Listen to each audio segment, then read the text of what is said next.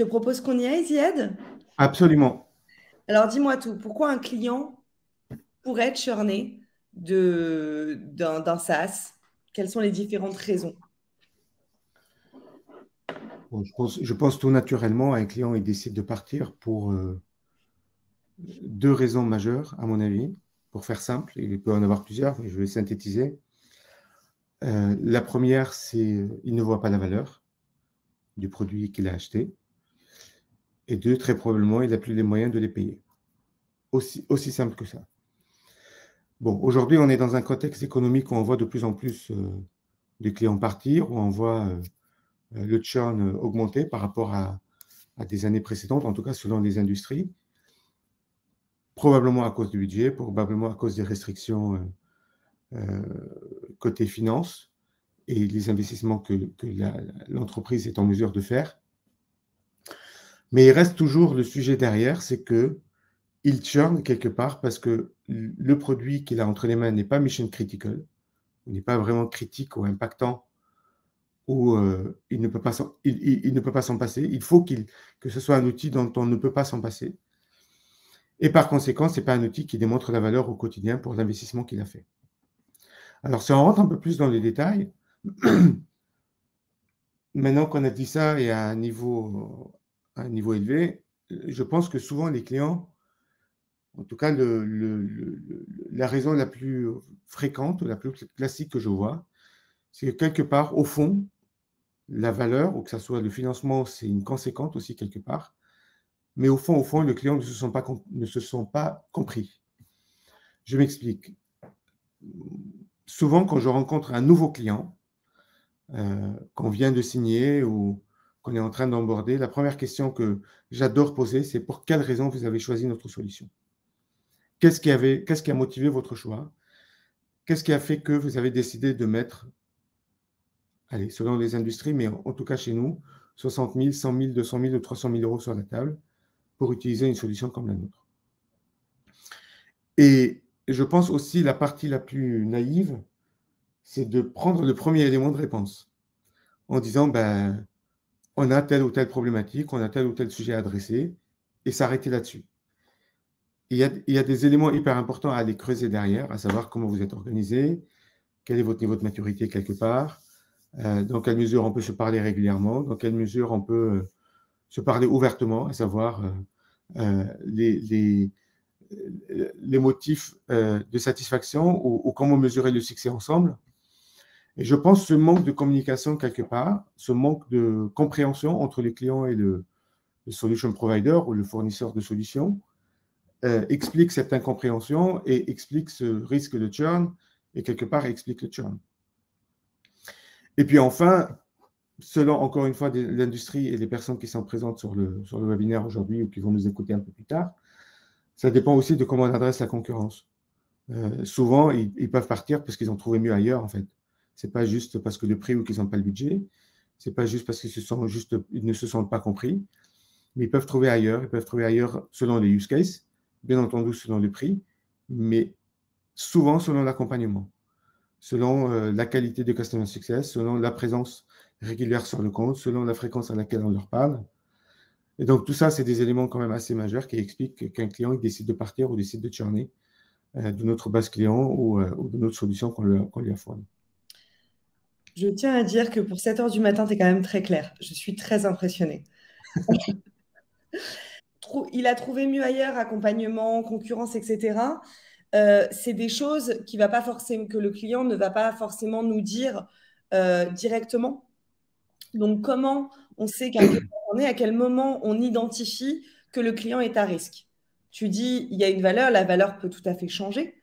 Euh, comment on sait que qu'un client est, à risque, c'est-à-dire qu'il euh, tique l'une des trois euh, options que tu as, que tu as citées Bien sûr.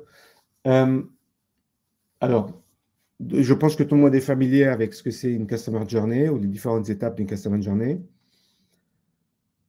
Je pense il y a des cas de figure où on peut identifier dès le départ qu'il peut y avoir un risque. Et je ne suis pas là pour critiquer le travail des sales, par exemple, parce que Dieu sait que c'est un travail qui est très difficile, que moi-même j'ai essayé de, réaliser et que je n'ai pas réussi. C'est très difficile d'aller vendre et d'aller convaincre et d'aller arracher ne serait-ce qu'une ligne de budget pour vendre une solution. Donc là n'est pas le sujet. Mais je reviens à ce que j'ai dit tout à l'heure. Souvent, c'est un de. C'est un problème de compréhension. Et c'est un problème d'alignement et de communication. Euh, pourquoi je dis ça? Parce que, que ça peut commencer dès, le premier jour où on peut se rendre compte qu'il y a un, défaut de promesse, euh, que ce soit sur l'alignement du produit ou du use case que le client souhaite adresser et peut-être le produit n'est incapable, est incapable d'adresser. Il y a un problème de over-promesse ou de sur-promesse par le sales, que ce soit sur l'accompagnement, que ce soit euh, sur les délais d'implémentation, que ce soit sur euh, la valeur ajoutée du produit qui peut être euh, juste surestimé, juste promis à l'oral sans, preuve tangible. Et puis, et puis je pense par la suite, un client, il peut décider de churner et on peut prévenir sans churn. En tout cas, pour moi, il y a, il y a trois éléments majeurs. C'est l'organisation avec laquelle on travaille, c'est l'organisation du client. Est-ce qu'il y a des utilisateurs? Est-ce qu'ils sont prêts à dédier du temps? Est-ce qu'ils sont suffisamment matures pour, on, parle chez nous, en tout cas chez ContentSquare, pour passer à l'action, parce qu'on donne des insights, on donne des informations qu'il faut convertir quelque part. Donc, est-ce qu'ils sont vraiment suffisamment agiles et data-driven, par exemple, pour aller au bout euh, de la chaîne de valeur de ContentSquare euh, et, ces éléments-là, si les réponses sont non, on peut tout de suite sentir qu'il y a un risque. Et quand on sent qu'il y a un risque, on apprend euh, forcément en marchant. Peut-être au début, on n'avait pas les réponses, mais aujourd'hui, sur plusieurs cas de figure, on sait ce qu'il faut faire. On sait qu'il faut informer, on, sait comment il faut faire une, escalade, une escalation, euh, que ce soit à l'exec chez nous, à l'exec ou, au sel chez nous, ou à l'exec côté client, ou à l'économique buyer côté client. Et donc, euh, et euh, en effet, on peut se dire, sur un contrat par exemple de 12 mois, et on commence au bout d'un mois, on voit qu'il y a un risque, on sent tout de suite qu'il y a, a, que, l'affaire va être compliquée et qu'il faut, il faut, euh, il faut doubler la mise, que ce soit en ressources, que ce soit en temps, que ce soit en visibilité ou en impact, pour démontrer la valeur, pour défendre le budget et par conséquent sécuriser le deal. Donc ça, c'est au début. Après, en cours de route, il y a des indicateurs aussi on n'arrive pas à démontrer la valeur. Il n'y a pas d'adoption, par exemple, tout simplement. Je pense que c'est un sujet qu'on va aborder un peu plus tard, mais un client nous gosse, il ne répond plus, il est plus présent. Euh, il y a différents indicateurs ou différentes métriques qu'on mesure euh, en cours de, relation client, que ce soit le NPS, est-ce qu'il nous recommande, est-ce qu'il est satisfait, le, taux de satisfaction? Et enfin, une métrique que moi j'adore, mais parce qu'elle combine plein de choses ensemble, c'est le health score quelque part, est-ce que euh, ça peut être surprenant mais... Euh, le health score pour beaucoup de personnes, euh, si le health score il est mal défini, il peut être très critique, mais il veut malheureusement. Absolument. Alors, on va faire simple parce que le sujet n'est pas le health score aujourd'hui, on peut en parler pendant des heures. Mais le health c'est une combinaison de plusieurs métriques. Ça peut être l'adoption, est-ce qu'on a démontré la valeur Quel est le nombre d'utilisateurs qu'on a sur la plateforme? Si on est dans le SaaS, on, on est capable de mesurer ça. est-ce qu'on les a vus récemment, parce que les envoyer en personne? par exemple, pareil, on a réussi à faire des études qui démontrent que rencontrer des clients en personne a beaucoup plus d'effet sur le renouvellement et sur la réduction de churn que de les rencontrer via Zoom ou via email. Euh, donc ça, ça joue énormément. Donc c'est juste, c'est des métriques simples qu'on additionne ensemble. Hein. Ça peut être euh, A plus B plus C et ça donne un résultat et on peut savoir si le score est bon ou pas. Euh, dans le health score, par exemple, on met le nombre de tickets ouverts au support. C'est une théorie de base, mais moi je pense qu'un client râle on est beaucoup plus facilement en mesure de l'adresser qu'un client que, dont on n'entend pas du tout. Donc ça aussi, c'est un indicateur parmi d'autres. Et donc, pour revenir, ça fait partie des métriques qu'on peut regarder et qui peut nous indiquer, attention, le score, il est de 50 sur 100, il est de 40 sur 100 ou de 30 sur 100. Et la moyenne d'un client qui renouvelle, le score, il est de 65 et de 70. Ben, ces clients-là, il fait partie des clients à risque qu'il va falloir adresser. Donc voilà, beaucoup d'éléments, mais en résumé, euh, la, maturité du client. Il ne faut jamais négliger et y aller tête baissée en pensant que c'est toujours de notre faute.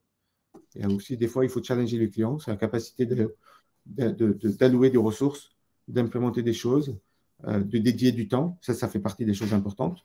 Et quitte à les challenger, c'est-à-dire à quel moment vous décidez de mettre 100 000 euros sur la table si vous n'êtes même pas prêt d'allouer des ressources et du temps sur la plateforme. Donc, ça fait partie des choses où, en tout cas, moi, je challengerai.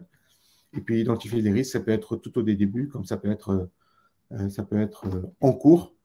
et je ne dirais pas à la fin, parce que ça serait la pire que d'identifier des risques jusqu'à la fin, au moment où il faut renouveler ou un mois avant le renouvellement.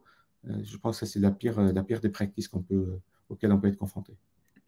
J'aimerais revenir sur un, élément que tu as dit au début concernant euh, l'alignement, la maturité de l'organisation et les ressources qui pourraient être potentiellement, euh, qui pourraient permettre d'identifier un risque de churn. Euh, je pense à un use case où il y aurait une personne, il y aurait le decision maker qui aurait signé un contrat, qui a compris la valeur, par exemple, de Content Square ou du SaaS, peu importe, puisqu'on n'est pas là pour parler de nos logiciels. Hmm. Euh, et, il se trouve que la personne en charge de l'implémentation chez le client est une personne qui n'a aucune idée de la valeur et qui est juste là pour l'implémentation. Dans ce cas-là, les questions sur euh, l'objectif, la valeur, le budget, l'envie et la motivation pour implémenter l'outil, euh, ça va être très vague, mais peut-être que c'est parce qu'on s'adresse au mauvais persona. Alors, Absolument la question du persona, à qui on parle euh, et, comment on, et, comment on bosse avec lui, même si on, bosse avec différentes personnes au sein de l'organisation.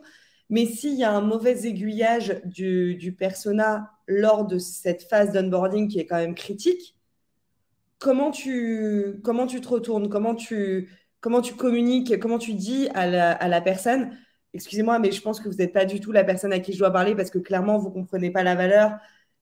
Comment tu gères ce use case? Alors, il y a souvent plusieurs cas de figure. Le, premier, c'est d'aller repartir euh, voir celui qui a signé. Parce que je pense, en tout cas théoriquement, il est impossible d'avoir signé un contrat pour une plateforme dont je me désintéresse du jour au lendemain. Donc peut-être qu'il m'a guidé vers une personne dont ce n'est pas la bonne personne, donc ce n'est pas le bon contact en interne. Euh, mais le top-down et le bottom-up, il est hyper important dans ce cas de figure-là. Euh, l'executive alignment, il est critique dans ce genre de, ben, en fait, dans ce genre de cas de figure, mais dans tous les cas de figure, il est critique. Euh, que ce soit même pour un client satisfait. Parce que du jour au lendemain, on peut aussi perdre le focus et la relation avec la personne qui a signé ou l'executive buyer, la personne qui a mis l'argent sur la table pour signer la plateforme avec ContentSware, par exemple.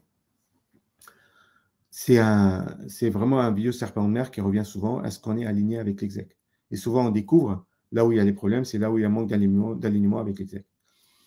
Donc, ça, c'est un élément important. Ensuite, moi, je parle beaucoup de valeur. On parle de valeur euh, du ROI ou de la valeur monétaire.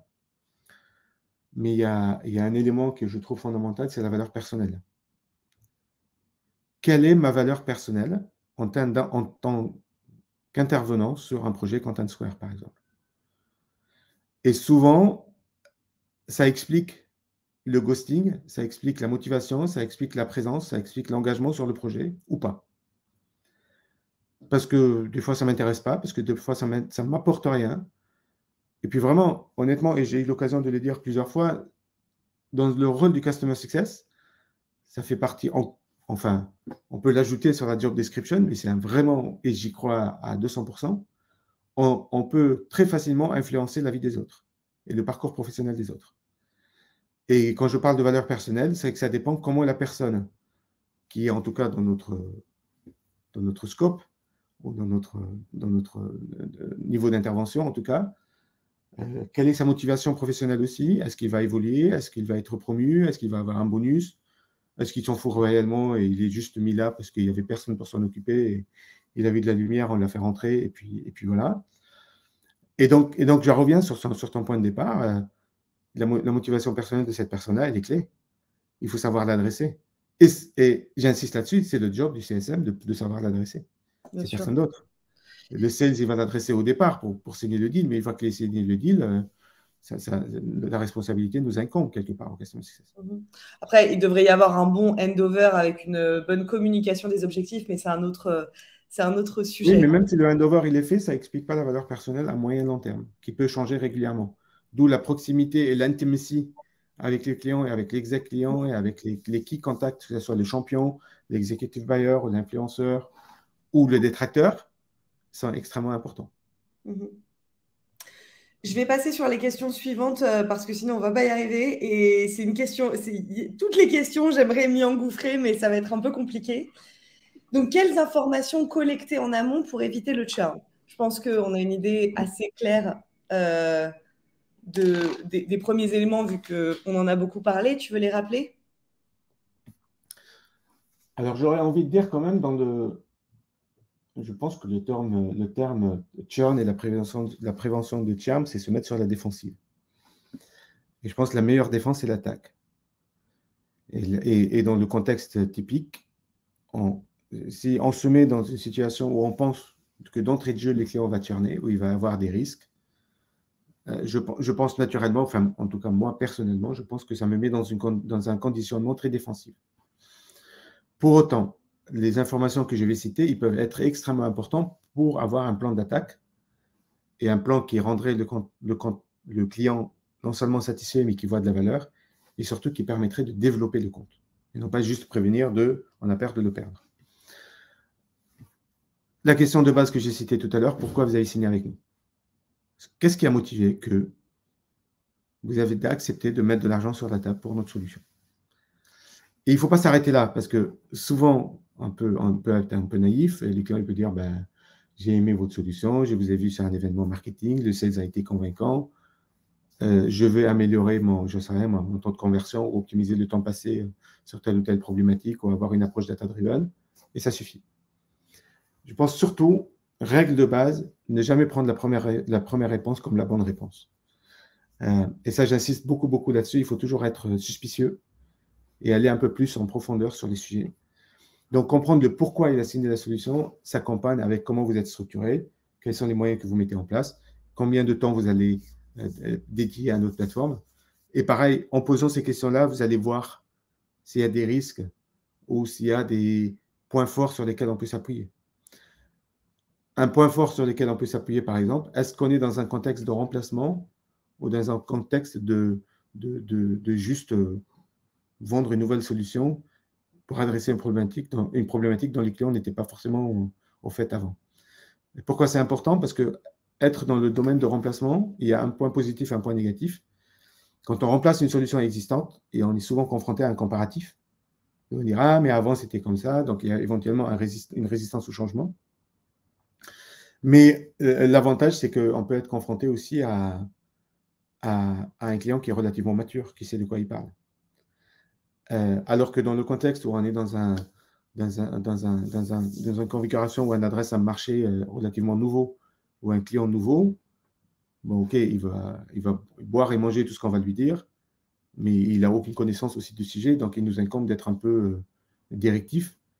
Euh, et donc, donc, ça fait partie des, cas de figure où il est hyper important de savoir pourquoi vous avez signé, comment vous êtes organisé, quel est votre niveau de maturité, quelles sont les ressources ou le temps que vous allez allouer à notre plateforme à nos sujets, et ainsi de suite. Comprendre les enjeux des clients et de ses objectifs, euh, et non pas juste avec nous. Je pense qu'il est hyper important de s'imprégner un peu de l'ADN de l'entreprise et du client, de ses enjeux euh, business, de ses difficultés, de ses investissements, de sa croissance, de son industrie. Euh, je donne un exemple bateau. Hein.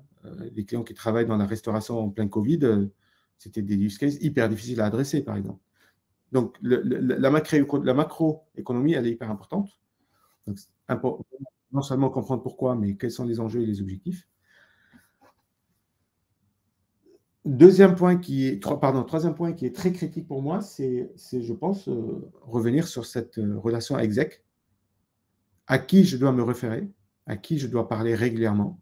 C'est qui est l'executive buyer, qui est le budget owner, mais qui est le décisionnaire aussi? Ça peut être des personnes différentes selon l'organisation et la taille du client que vous adressez. Euh, quel est le budget disponible? Est-ce que le budget est disponible? Il ne faut pas se gêner qu'on ait un an ou 15 ans ou 20 ans dans le Customer Success de poser la question, toute bête, hein. est-ce que vous pensez que euh, d'ici six mois, on, est, on sera en mesure de renouveler le contrat ensemble? Et si oui, comment? Euh, Sinon, pourquoi? Très simple. Et, euh, dans ce même euh, cas de figure, moi, j'adore aussi identifier, et je pense que c'est nécessaire, les détracteurs. Qui ne m'aime pas, qui ne nous aime pas, qui n'est pas fan de notre solution, qui n'y voit pas l'intérêt. Il faut garder nos amis proches, mais nos ennemis encore plus proches. Et là, typiquement, sur les détracteurs, hyper important de, de, de savoir qui et pourquoi, en fait. Surtout le pourquoi. Qu'est-ce que vous nous reprochez? Et pareil, pour revenir sur ce que j'ai dit avant, il peut avoir été fan d'une solution précédente ou il peut juste ne pas comprendre les use cases ou sa valeur personnelle n'y est pas, et ainsi de suite. Euh, et enfin, euh, question qu'il faut aussi poser régulièrement, et je pense que si vous êtes dans un rythme de QBR ou de, rencontres tous les trois mois ou tous les deux mois ou tous les six mois, en tout cas, quels sont les critères de succès? Euh, Est-ce que vous estimez qu'on réussit ou qu'on va réussir ensemble et sur quels critères vous mesurez cette réussite ou ce succès ensemble pour pouvoir se comparer à ces critères régulièrement, que ce soit quand on se rencontre en interne avec nos équipes internes, que ce soit produit, marketing, sales, customer success, ou que ce soit quand on se rencontre avec le client, que ce soit utilisateur, champion ou decision maker ou exécutif. Voilà, on se compare par rapport à ces critères de succès. Et je sais que vous m'avez donné les critères 1, 2, 3, et, il va falloir que je me rapproche ou que je me calque le plus possible euh, pour justifier la réussite et par conséquent euh, le renouvellement, éviter le churn ou euh, accélérer et développer le compte et faire de l'upsell ou, ou, de la vente sur des régions, sur des départements supplémentaires dans l'organisation. Voilà. ces éléments à collecter, ils sont, ils sont hyper importants. Je suis tout à fait alignée avec toi. Et c'est des must-have quand on commence, quand on reprend une relation avec un client. Sauf que le discours doit être adapté en fonction des régions. Les Français, par exemple, ont vraiment du mal à parler de budget. C'est des, lignes qui sont très euh, blurry.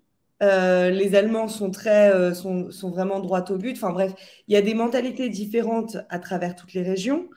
Comment tu arrives à avoir des réponses et des éléments, de, des éléments pour avancer avec chaque client de manière uniforme quand en face, tu as des clients qui viennent, de, qui, viennent de régions et qui vont donc apporter des réponses plus ou moins claires en fonction de leur euh, culture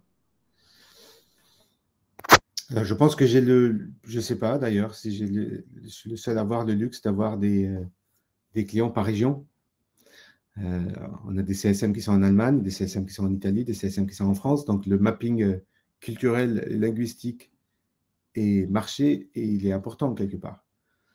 Euh, si tel n'est pas le cas, ça fait partie aussi du développement individuel de chacun, euh, de savoir parler un anglais, un américain, un français ou un allemand. Forcément, ce n'est pas la même, euh, la même façon de communiquer, la même façon d'adresser le sujet.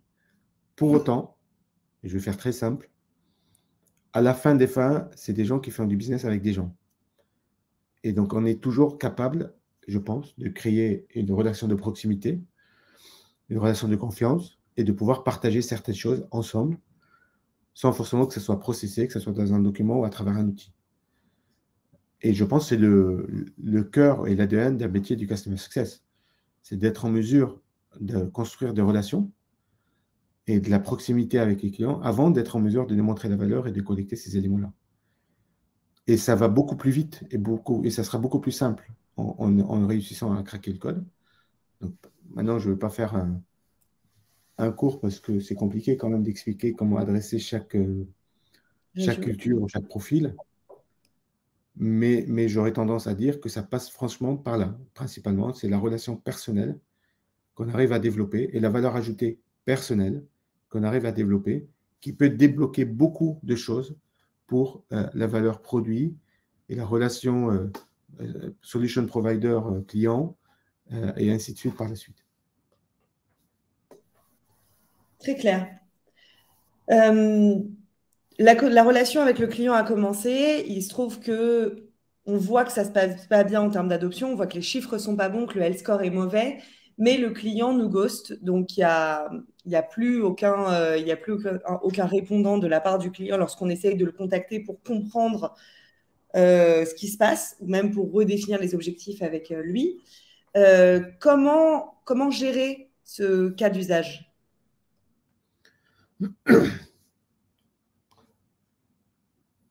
Bon, je ne sais pas si c'est maladroit de le dire, mais s'il arrive à un stade où il nous gosse, c'est qu'il y a quelque part une raison.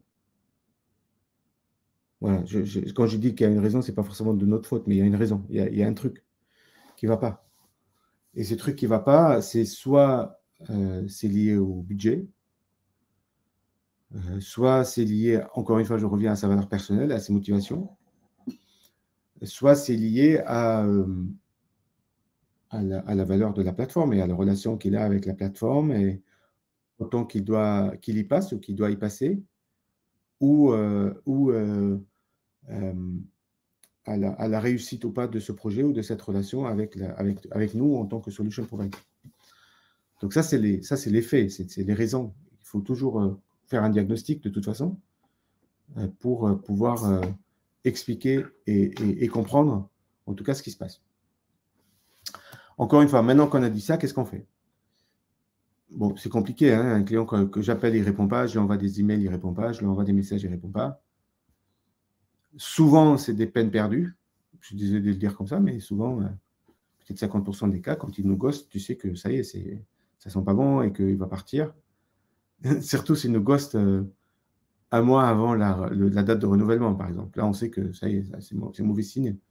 Et que peut-être il est juste gêné, il ne sait pas comment nous le communiquer, nous le dire. Mais la décision est venue d'au-dessus il va falloir couper, il va falloir. Euh. Donc, c'est pour ça que j'insiste sur euh, vraiment, je préfère éviter qu'un client me gosse que d'essayer de réveiller un client qui me gosse. Compliqué à adresser.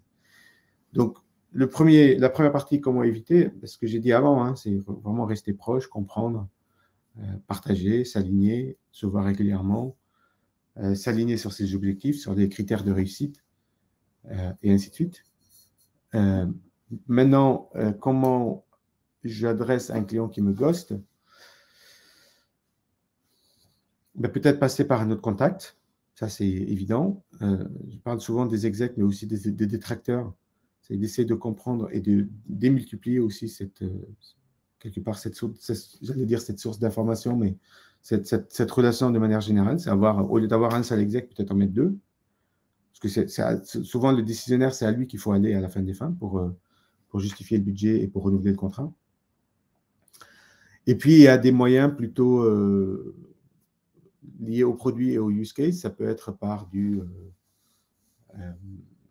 par du, de la notification à travers les plateformes, donc du in-app messaging, euh, selon euh, est-ce qu'il est utilisateur ou pas, est-ce qu'il revient régulièrement ou pas, selon les use cases, selon le profil.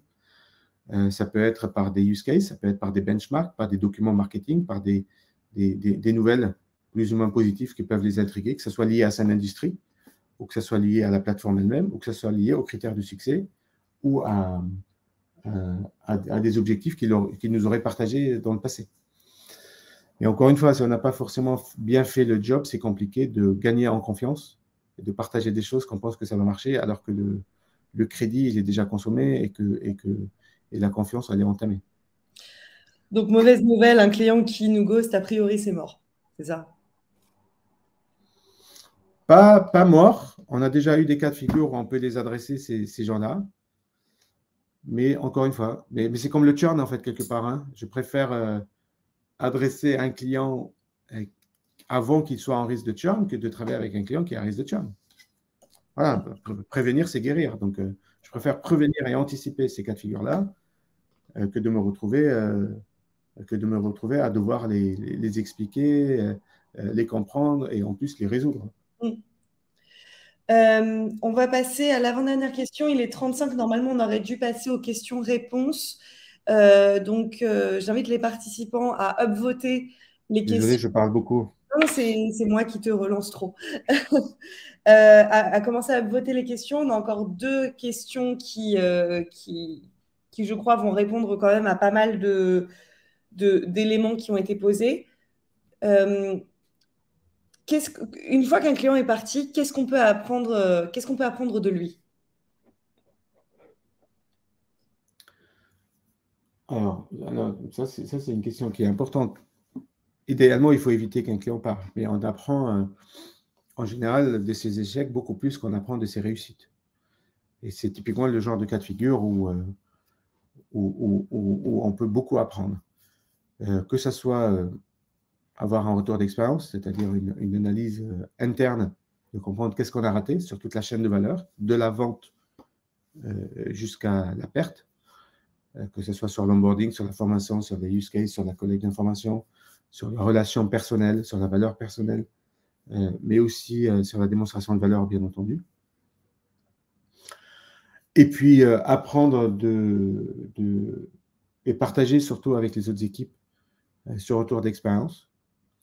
Souvent, ce qu'on peut faire aussi, c'est d'appeler le client. Hein. C'est pas grave, vous avez décidé de partir, mais d'une personne neutre de notre organisation, pas forcément de customer success, ce n'est pas la meilleure idée, d'appeler juste euh, je suis neutre, je veux juste comprendre qu'est-ce qui s'est passé.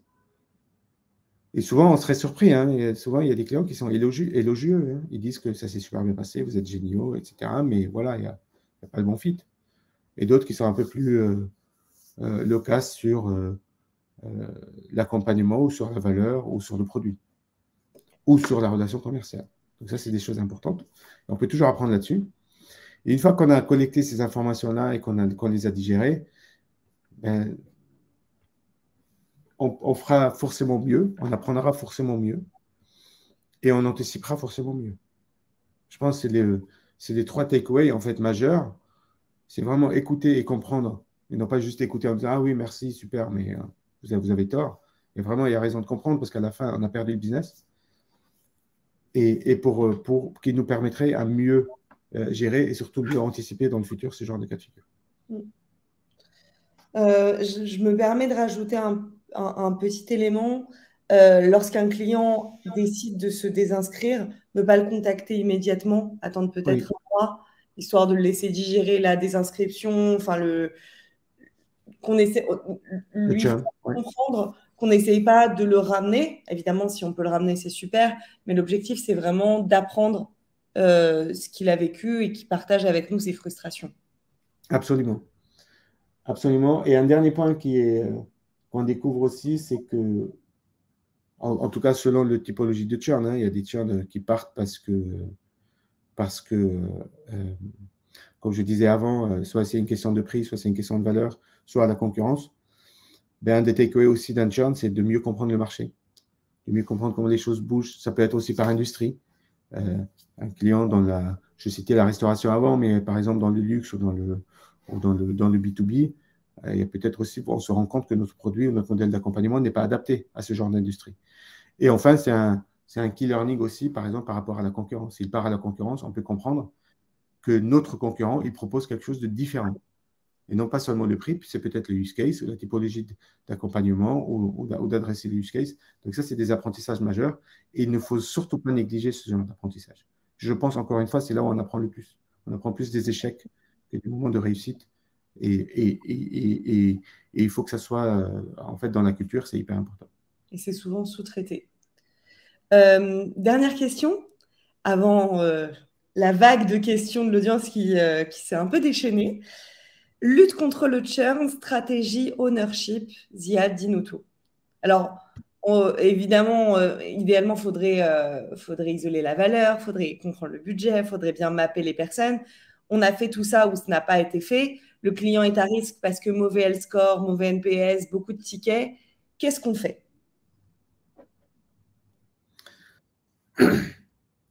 Alors, il est. Bon, je vais être un peu.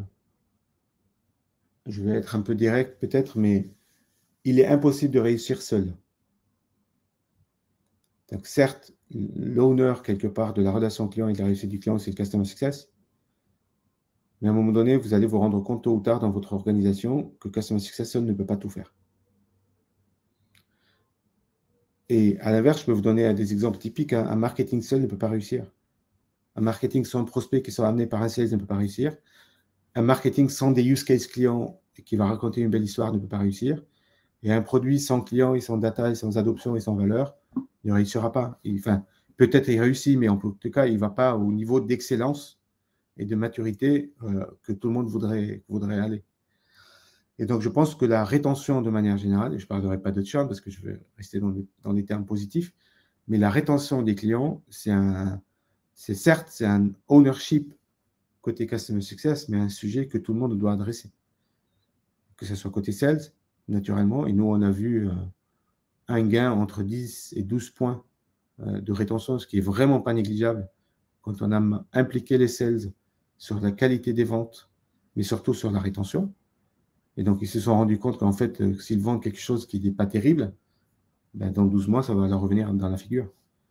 Et donc, forcément, et, ça crée une dynamique hyper positive. Mais le produit, pareil, faire des releases euh, produits qui sont juste dédiés à de la vente, alors qu'on n'arrive même pas à retenir les clients sur des use cases de, base à cause des bugs ou à cause des limites ou à cause de la complexité du produit, ça n'aide pas. Mais, hein, vas-y, pardon. Concrètement, ça s'organise comment? Tu vas voir les sales individuels euh, de manière individuelle Est-ce que tu organises des meetings avec euh, l'ensemble des têtes de département une fois par mois pour revoir les comptes à Bien sûr. Alors, bien sûr, ben là, typiquement, la raison de ma présence aux États-Unis, c'est qu'on est ensemble, euh, marketing, customer experience, customer success et sales, dans la même salle pendant trois jours. C'est-à-dire, non seulement au quotidien, on remonte des sujets aux équipes concernées, non seulement on partage des feedbacks, ou on engage, par exemple, tout ce qui est strategic planning ou success planning ou account planning, on le fait avec les sales, mettre dans la main. Euh, quand il s'agit des use cases ou des bugs, on remonte au, produit.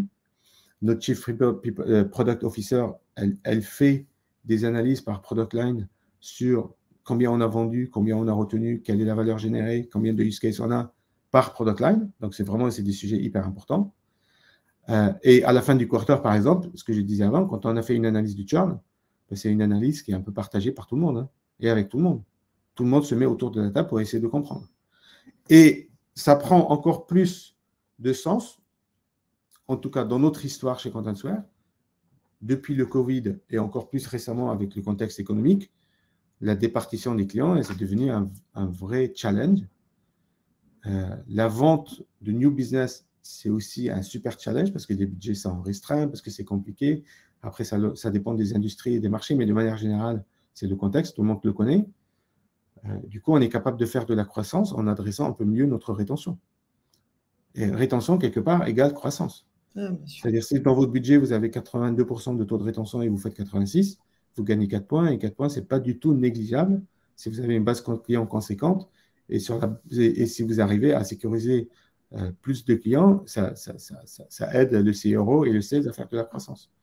Et puis, ça rajoute les nombres de clients contents, ça rajoute les use cases réussis, et ça, ça rajoute euh, des super histoires à raconter côté marketing, ça rassure le produit sur la stratégie qui est, qui est déployée, et ainsi de suite, et c'est un cercle vertueux. Mais il ne peut pas devenir vertueux en pensant que le customer success seul peut porter ça. Bien sûr. C'est vraiment, c'est vraiment le challenge. OK, très clair. Je te propose de passer aux questions si c'est OK pour toi. N'hésitez pas à, à continuer à voter les questions.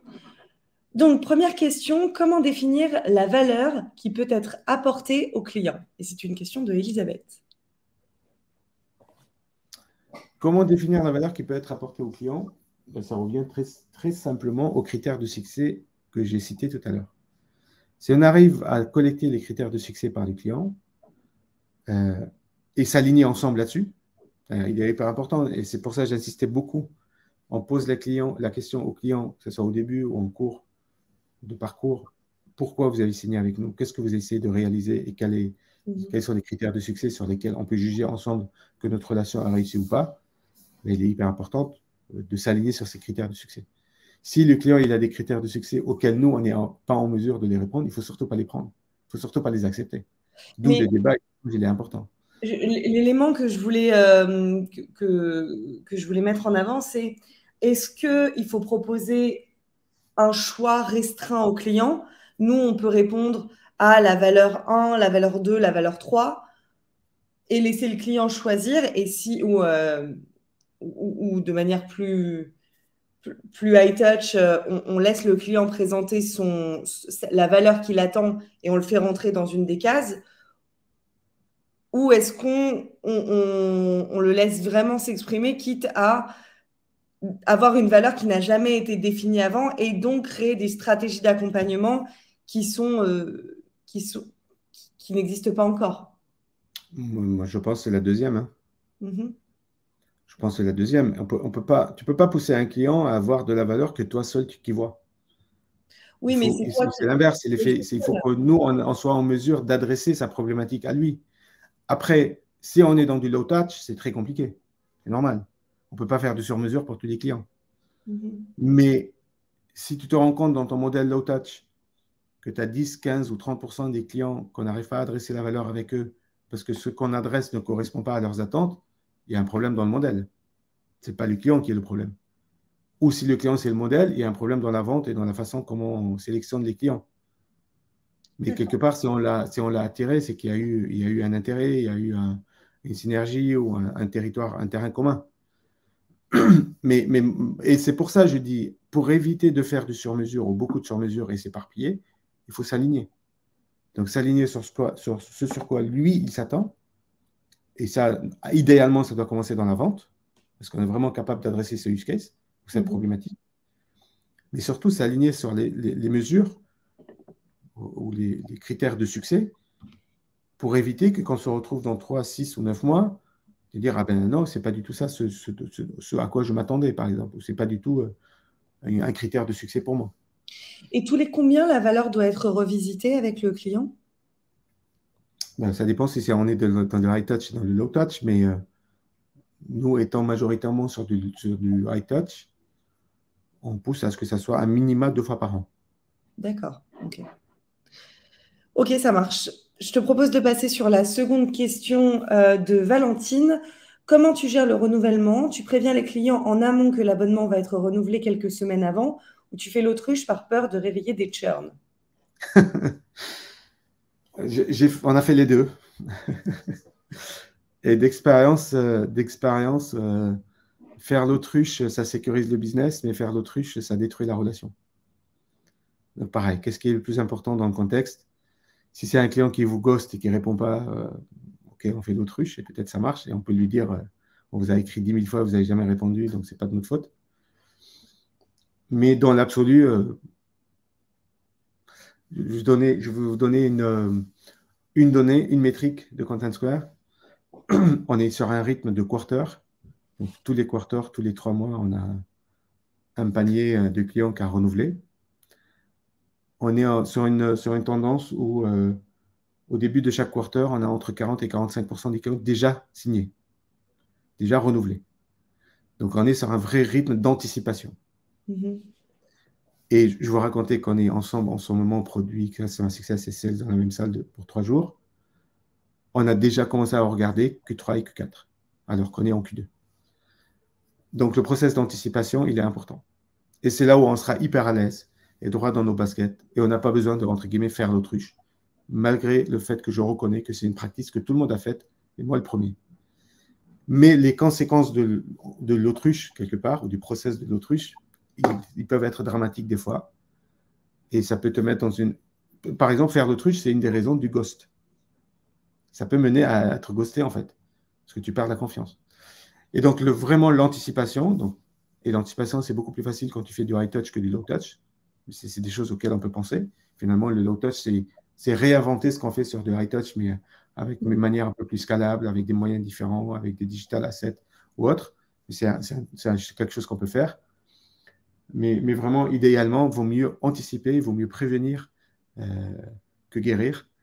Et, c'est ce, que je, ce que je, ce serait ma réponse euh, la, plus, la plus simple et la plus directe à ce, à ce, genre de cas de figure. Très clair. Tu préconises d'établir comment le, euh, tu te préconises d'établir comment mesurer le succès ensemble. Mais souvent, le client ne sait pas lui-même ce qu'il attend précisément dans mon ah ben. Comment définir cette valeur Difficile à mesurer parfois? Question de Valentine. Ben, c'est une super question, mais c'est ce que je disais aussi avant, ça dépend de la maturité du client. Euh, si vous vous rappelez, tout au début, euh, sur les raisons du churn, euh, souvent c'est la maturité aussi de l'organisation. Et c'est là où, pareil, on on a, développé un mindset. Alors, je ne suis pas sûr que c'est toujours le bon, mais on ne refuse pas un business. On ne refuse pas. Il y a un deal, il faut aller le prendre. C'est comme ça qu'on a réussi aussi quelque part à créer une relation de confiance avec les sales. Alors que les sales, euh, c'est difficile de bosser avec les sales, c'est compliqué. Des fois, c'est pas clair, c'est pas carré, etc. Tout le monde connaît ça. Mais on a besoin de sales dans une organisation SaaS. C'est normal. Mhm. Euh, la, difficulté, c'est de convaincre un sales de lui dire Bon, client pas mature et il n'aurait pas fallu le prendre. Nous, notre philosophie, allez, il y a un business, il faut prendre. Prends et on verra après. Et les conséquences, c'est ce genre de cas de figure. C'est que tu te retrouves face à un client qui ne sait même pas pourquoi il est là. Je dis, mais je ne sais pas. Mais, pourquoi vous avez signé avec nous? Ben, Je ne sais pas, votre sales, il n'a pas arrêté de m'appeler. Mais je vais vraiment eu ces cas de figure-là. Hein. Il n'a pas arrêté de m'appeler, il m'a saoulé, donc finalement, j'ai craqué, j'ai signé. C'est des cas de figure qui arrivent. C'est là où la maturité de l'organisation Customer Success euh, passe à l'action. C'est là où est-ce qu'on a appris, comme le ghosting en fait, est-ce qu'on a appris à adresser, à éviter ou à être en mesure de stimuler ce genre de clients avec des use cases liés à son industrie, liés à sa typologie euh, ou à son profil de client. Et après, des fois, bon, ben, il peut avoir 5 ou 10 de peine vraiment perdue, il n'y a rien à faire. Mais vraiment, nous, on a vu des retournements des situations improbables parce qu'on a un savoir-faire sur comment engager les clients, euh, comment, revenir sur la valeur personnelle, comment euh, construire une relation personnelle avec ces gens-là. Euh, et, puis ça bascule. Très clair. question suivante, quels sont les indicateurs utiles à la prévention de churn? Je pense qu'on a partiellement répondu. Est-ce que tu veux rajouter des éléments?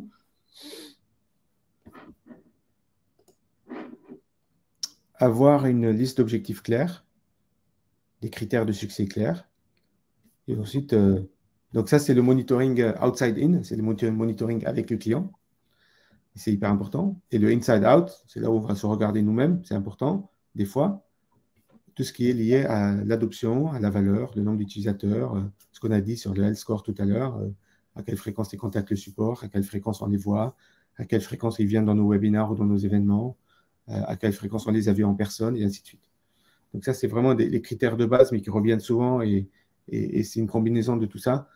Reste quand même cerise sur le gâteau, c'est la relation exec, parce que que ce soit pour escalader, ou pour signer, ou pour renouveler, ou pour avoir un peu le tempo sur comment ça se passe, c'est souvent avec ce genre de personnes qu'il faut parler, et de manière la plus anticipée possible. Très clair. Avez-vous des conseils à nous partager pour récupérer un client qui vient de nous annoncer son souhait de résilier? Une bonne question. Ouais. Euh, il faut, il faut, je vais dire ça sur le temps de, l'humour, mais, mais j'y crois. Au fond de moi, j'y crois à 200%. Euh, il ne faut pas prendre euh, un an pour une réponse. Vous voulez rester avec nous? Non. Vous voulez partir Vous n'êtes pas content Vous voulez quitter Content Square, etc. Il ne faut, faut pas prendre ce refus comme une réponse. Il y a toujours un truc derrière. Bon, souvent, on tombe sur des cas de figure où où on sait que ça y est, c'est cuit, c'est mort, euh, on ne va pas y arriver, mais je peux vous garantir que c'est surtout un mindset, ce n'est pas une technique de dire on ne va pas lâcher, on va aller jusqu'au bout. Et plusieurs fois, euh, les, genres de cas de figure, par exemple, que nous on a, alors je ne sais pas dans quelle mesure vous avez cette agilité, cette capacité de le faire, euh, nous on propose une prolongation gratuite de contrat d'un mois ou de deux, et on va essayer juste de se retroucher les manches, de récupérer les critères de succès qu'on n'aura pas, ou d'essayer de redemontrer la valeur qu'on n'a pas réussi, ou d'essayer de proposer d'alternatives sur des use cases ou des product lines que les clients ne soupçonnaient pas qu'on avait ou qu'on était en mesure de faire. Mais ça revient souvent sur la raison. Est-ce que c'est le prix? Est-ce que c'est la concurrence? Est-ce que c'est la concurrence, c'est sûr et certain qu'on va tous vriller et on va, on tous faire tout et n'importe quoi pour essayer de les garder parce qu'il y aura autre question qu'il y a la concurrence. Et, mais, mais, mais c'est des, des, des, moments où on apprend beaucoup que ce soit sur notre capacité d'anticiper, sur notre capacité de gérer euh, un churn ou d'apprendre de ce churn-là, et surtout sur notre capacité de pouvoir retourner des situations ou pas. Et je ne sais pas si la question va arriver après, mais moi j'ai toujours dans un coin de la tête, et quelque part, euh, j'allais dire sur mon bureau, mais je n'ai pas un bureau fixe, mais je sais que j'ai toujours une liste de churn de 2, 3 ou 4 quarters qui est toujours quelque part à regarder et on essaye de voir où est-ce qu'ils en sont et est-ce qu'on arrive à les récupérer encore ça en fait des, des, des reborns ou, des, des rebirths des, clients qui ont churné et on arrive. Euh, l'année dernière, je pense qu'on a récupéré entre 18 et 20 clients qui ont churné et six mois après, on a réussi à les re Parce que le contexte n'était pas bon et parce que les ressources n'étaient pas disponibles, ou parce que le budget n'y était pas, ou parce qu'il y a plein de raisons. Et ça, c'est ça, c'est un, un, super mindset à développer que dire ils sont partis, c'est pas grave, mais c'est pas pour autant qu'on va les lâcher. Ok. Euh, j'allais dire le livre de la, de la honte pour les churns à venir, mais du coup, non, c'est les livres du Reborn. Euh, ben oui, mais c'est pareil, c'est ce que j'ai dit, c'est soit on se met dans une situation défensive, soit on est dans un mindset d'attaque. Et, et, honnêtement, c'est des. J'ai jamais vu euh, des situations où on régénère de l'énergie, de la positivité dans un open space côté customer success ou côté sales, plus qu'au moment où on, on rattrape un client qu'on a déjà perdu et qu'il est revenu même en raconter ça, je trouve ça surréaliste en fait. Mais il y a plein de gens qui pourraient être surpris de ça, mais c'est vraiment des situations qui génèrent beaucoup de, de, positifs et d'impact très marquants dans l'esprit des gens et qui conditionnent le mindset de, il faut se bagarrer sur chaque deal. Et qu'aujourd'hui, euh, je pense dans le contexte économique, aujourd'hui, en tout cas, nous, on le voit, sur chaque renouvellement, c'est une revente. Il faut justifier, il faut revendre, il faut. Chaque échange. Voilà. Échange, une vente, je suis tout à fait d'accord, c'est pas forcément un budget, c'est euh, inspirer les gens, leur donner envie, et, c'est ce que tu disais en début d'échange, euh, rendre notre outil un must, de faire en sorte que notre outil devienne un must-have. C'est pas possible de, de ne plus l'utiliser. Absolument. Euh, je pense qu'on a encore le temps pour deux petites questions. Différentes valeurs pour différents personas au sein du même compte. Comment gérer? Alors, quand on parle de différents personas, ça veut dire que on a, on a affaire à un compte relativement large. large. Absolument. Euh, comment, comment gérer euh, ça, ben, ça revient sur ça, ce que je disais avant, ça revient à la genèse du use case. Est-ce qu'il y a un vrai product fit entre le besoin du client et ce que nous, on est en mesure de délivrer? Et est-ce qu'on est aligné sur les, les objectifs clés avec l'exécutif. Parce que je pense quelque part aussi, le, decision maker ou l'executive buyer ou l'exécutif côté client, c'est lui qui, qui, parle à ces personnes quelque part. C'est lui qui adresse aussi ses personnes en interne ou ses personnes, ça peut être les personnes clients aussi, euh, le client final. C'est juste une complexité supplémentaire, mais fondamentalement, ça ne change pas la façon d'approcher le sujet, à savoir, j'ai un problème ou j'ai un objectif, j'ai un use case ou un product fit, et par conséquent, j'ai une, euh, une, value proposition euh, pour, sur chacun des use cases. Mm-hmm. Si, l'approche, elle est use case driven, au lieu qu'elle soit persona driven, un use case, il peut aussi être la combinaison d'un ou plusieurs use cases ensemble. Donc, moi, ma réponse très simple, c'est que je pense que ça rajoute un peu plus de complexité, mais la philosophie en elle-même, elle ne change pas radicalement. Bien. On va prendre une dernière question. Quelle est la bonne fréquence de contact avec un client en run? On peut même rajouter euh, à cette question quels sont les sujets à évoquer avec euh, le compte, quelles sont les, questions à aborder euh, Alors, est-ce que c'est du low touch et du high touch? Pareil. C'est du low touch, normalement, on ne parle pas forcément régulièrement au client. Mhm. on, lui, on lui trouve les différents touch points avec lesquels il peut trouver ce dont il a besoin et ce dont il cherche. Après, on peut définir des, techniques euh, de communication automatisées euh, qui font des rappels, qui envoient des messages ou qui envoient des, signaux et ainsi de suite. Mais en général, c'est des règles prédéfinies, donc on ne joue pas avec. Euh, sur du high touch, euh,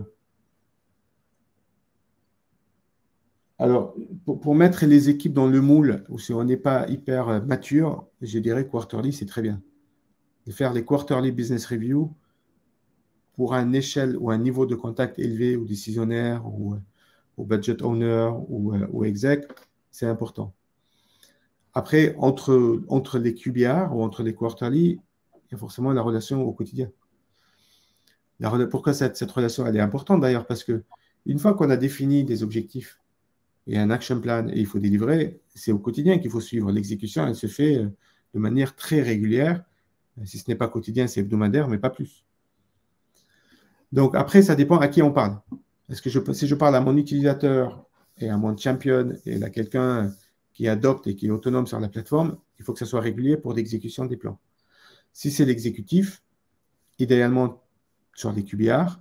Mhm. Maintenant, nous, on ne les appelle pas QBR, on les appelle Executive Business Review, parce qu'on fait la différence et on voudrait mettre une connotation de j'ai des comptes à vous rendre et j'ai des euh, besoins de m'aligner avec vous sur les objectifs, mais aussi sur les delivery et là où, où, est-ce qu'on en est par rapport à, la timeline ou à la, à la roadmap qu'on a décidé ensemble?